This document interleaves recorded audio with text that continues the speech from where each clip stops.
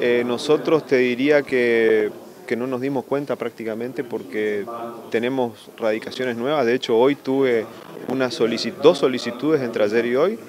Ayer una solicitud de una empresa paraguaya que quiere me llamó la atención. Y hoy también otra empresa local de Posadas que se dedica a la comercialización de gases que quiere poner la planta en el parque.